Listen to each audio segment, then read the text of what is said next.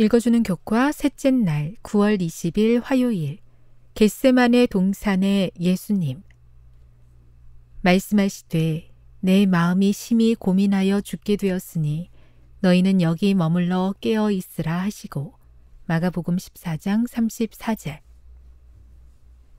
예수님께서는 33년간의 지상생애 동안 수많은 고난을 당하셨다.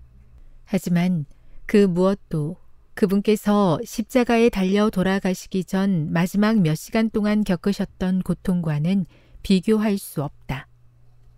영세 전부터 세상 죄를 위한 제물로 계획되었던 예수님의 희생이 이제 성취되려 하고 있었다. 다음 구절들은 겟세마네에서의 그리스도의 고난에 대해 무엇을 말해주는가?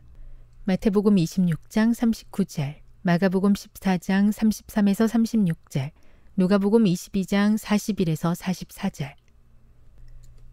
예수께서는 조금 나아가사 그들이 당신을 보고 들을 수 있는 멀지 않은 거리의 땅바닥에 엎드리셨다. 그분은 죄로 말미암아 아버지에게서 분리되었다는 것을 느끼셨다. 그 시면은 매우 넓고 매우 검고 매우 깊었으므로 그분의 심령은 그 앞에 떨고 있었다. 이 고민을 피하기 위하여 그분은 당신의 신성의 능력을 행사하지 말아야 하였다. 인간으로서 그분은 인간의 죄악의 결과를 감당해야만 하였다. 인간으로서 그분은 범죄에 대한 하나님의 진노를 견디어야만 했다.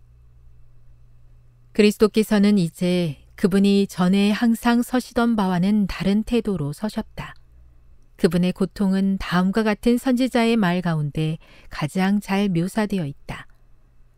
만군의 여호와가 말하노라. 가라 깨어서 내 목자 내 짝된 자를 치라. 스가랴 13장 7절. 죄 많은 인간들의 대속자 그리고 보증인으로서 그리스도께서는 거룩한 공의 아래서 고통을 받고 계셨다. 그분은 공의가 무엇을 의미하는지 아셨다. 지금까지 그리스도께서는 다른 사람의 중보자가 되셨으나 이제 그분은 자신을 위한 중보자를 갖기를 원하셨다. 시대의 소망 686 겟세마네에서 예수님께 어떤 일이 일어났는지를 묵상해 보라. 세상의 죄가 이미 그분 위에 내려앉고 있었다. 그와 같은 경험이 어떤 것이었을지 상상해 보라. 그 어떤 인간도 지금까지 그런 일을 당하도록 부름받은 적이 없었다. 교훈입니다. 예수님께서는 지상생애 동안 수많은 고통을 당하셨지만 그분께서 십자가를 앞두고 겪으신 마지막 몇 시간 동안의 고통은 그 무엇과도 비교할 수 없다. 묵상. 겟세만에서 고난 당하신 예수님의 모습이 우리를 향한 하나님의 사랑에 대해 무엇을 말해주고 있습니까? 그 모습을 통해 우리를 위한 어떤 소망을 발견하게 됩니까?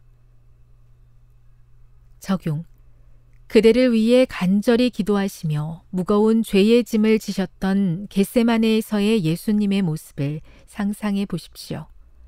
무엇으로 그분의 사랑에 보답할 수 있을까요? 영감의 교훈입니다.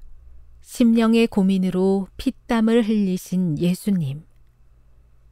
하나님의 아들이 겟세만의 동산에서 기도하는 자세로 엎드리셨을 때 그분의 심령의 고민은 그분의 땀구멍에서 커다란 핏방울과 같은 땀이 나게 하였다. 거대한 흑암의 공포가 그분을 둘러싼 곳은 바로 이곳이었다. 세상의 죄가 그분 위에 놓여 있었다. 그분은 사람을 대신하여 하늘 아버지의 율법을 범한 자로서 고난을 당하고 계셨다. 증언보감 1권 222 세상의 죄를 홀로 감당하셔야 했던 예수님의 고통이 얼마나 컸을지 감히 상상할 수 없습니다. 하지만 그 고통을 끝까지 감당하신 예수님의 사랑과 희생 덕분에 저에게도 희망이 생겼습니다. 그 크신 사랑에 믿음으로 반응하게 해 주시옵소서.